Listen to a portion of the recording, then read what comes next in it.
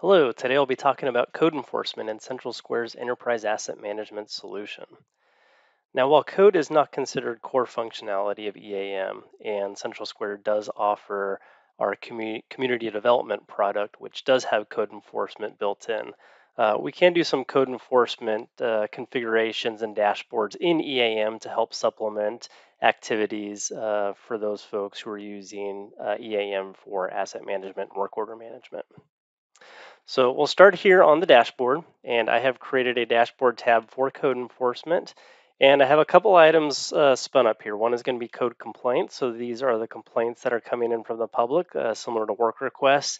And then code enforcement cases. So these are going to be assigned cases uh, to field staff to go out and investigate and uh, and take pictures and comments and um, you know do all the types of things you would do with a with a work order EAM. So let's start here uh, with an example. We'll run through how this might work. So we have our code complaints over here. So let's say that we get a call from a resident uh, regarding some landscape maintenance issues uh, at a property near their house. So what we can do is we can create a new complaint from our dashboard. So it's going to spin up a form for us here. And we will go ahead and enter the address of where the violation is taking place. Okay, we can um, look up the property owner information of that property. We can see, see any notes here uh, related to that property. And in this case, we have some comments about a dog. So if um, folks are going to be going onto the property to take pictures or anything, then um, you know they'll they want to be able be be aware of these types of things. Um, and then we can put comments in here. So let's say um, front yard uh, landscaping is overgrown.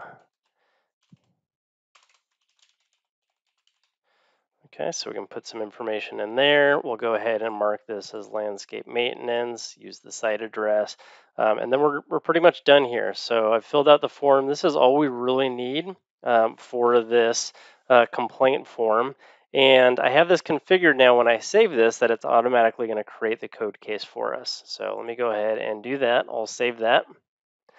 Uh, we will see here now that this ticks up. We have this new one assigned to work order. So that's 00092. If I come over here to my code enforcement cases, open that up, um, what we'll see is we'll see code case uh, 530. Okay, different numbers because one's a complaint and one is a code case. Uh, but if I expand this, we'll see that relationship here. Um, there's our um, complaint that's related to it.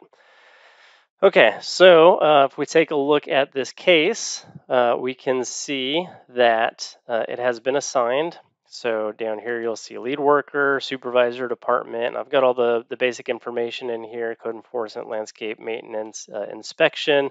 Um, right here's our comment about the dog, and then front, front yard landscaping is overgrown. So essentially, this has been assigned to Dylan in the field.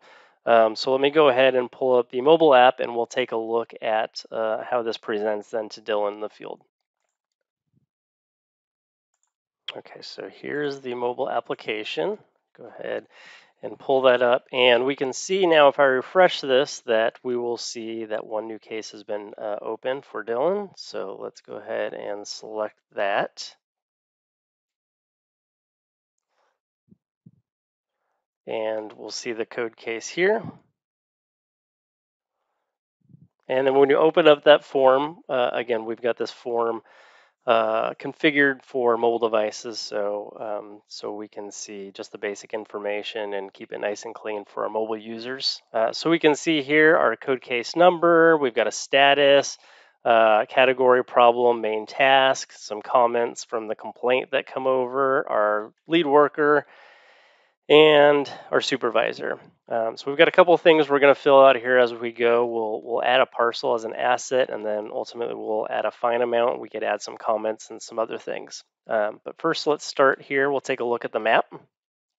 And what we'll see is I have this configured against our parcel map. So it's going to open up the address location. So we'll see the address here, right? So we pull that in from the uh, complaint.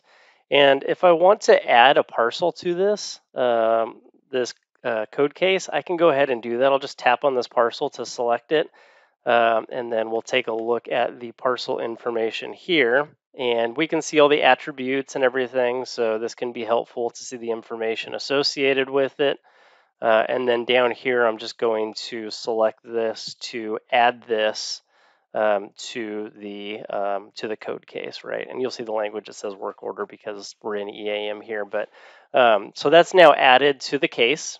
So if I go back, um, what we'll see now is that this says there's one asset, and if we select that, then we'll see that that's that parcel. Okay, so oftentimes code cases uh, might be tied to addresses, but maybe not. Maybe they're tied to parcels. So um, either way, we can we can accommodate that and handle that there.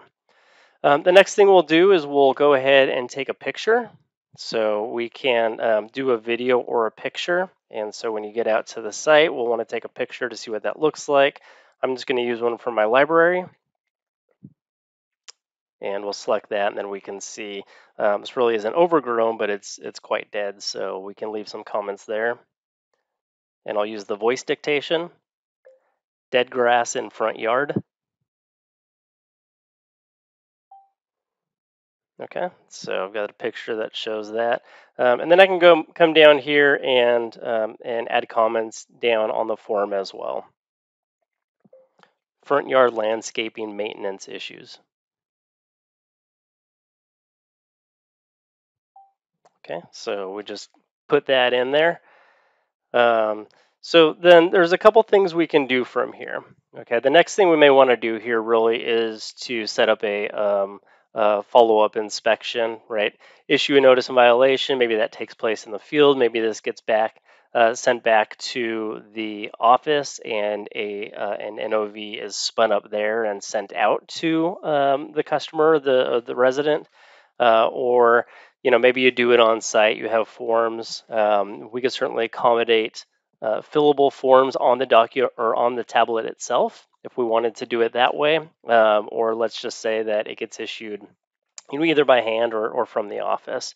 Um, so one of the things we may want to do then is set up a follow-up uh, inspection to go out and actually take a look at um, whether or not they're um, addressing the issue.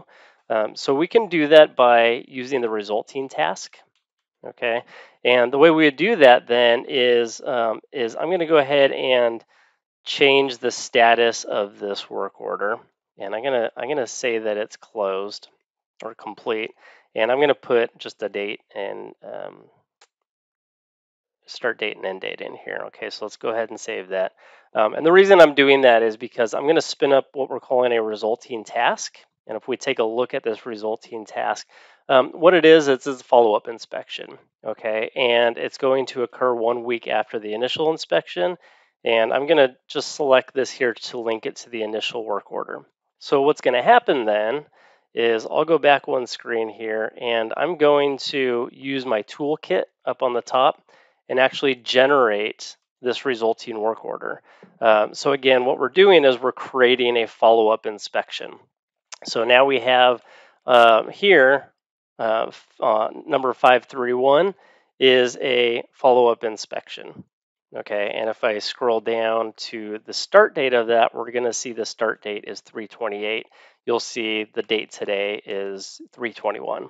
Okay, so that automatically takes that uh, date into account and creates a new work order or or code case in this in this case um, that's associated with the initial one and uh, and sets that date. So here I can go back to the one we're currently working on. I'll just tap there and we can see that we have an associated work order, which is that uh, resulting inspection, that follow-up inspection. Um, and then I'm also going to show you how we can issue a fine. So you'll see a fine amount here. And we wouldn't do this with the NOV, but we might do it as part of that follow-up inspection. But I'll just show it as part of this process here just so we can see how all of that works. Um, so in the tasks, we would simply add another one. So I've created a task here and I'll select this called code enforcement violation fine.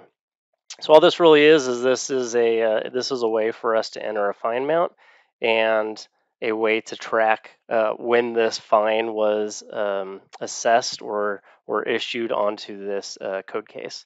So just going to go ahead and put that fine amount. Right, we can we can put uh, um, a date uh, we go, um, of when we did that, and I'll just go ahead and save that. Okay, so now if I go back to the main form, what we're going to see is we'll see that fine amount has been issued here. Okay, so this is a really, really nice and easy way to go out, do this inspection, create follow-up inspections, issue fines, um, take pictures, enter comments in. And of course, when you get back to the office, all of this is searchable and reportable. Um, you can run reports, NOVs, um, you know, uh, send out bills, things like that back into the office. So let me show you one final step here. If I come back into uh, back to the dashboard and we'll see that I have here cases uh, with fines requiring billing. All right, now when I refresh this, I should see one show up there. Okay, so we'll go in, we'll take a look at our uh, our case that requires billing. And here I'm looking at a supervisor view, so um, I put a lot more information on this view of this code case. Um, and what we can see down here under costs is we can see those total costs. Uh, and then we have a billing section, so you can leverage this billing section here. Um, we can pull um, the um, the property owner information into this section. Okay, so we could put that here. Go ahead and pull it in by name because I know what it is. And then the billing amount, we can pull that down from the total cost. Um, and then we can we can send that out. Uh, we can then track when the bill was sent, and we can also track uh, when payment was received. All right, and so that wraps up the process of code enforcement in Central Square's Enterprise Asset Management Solution.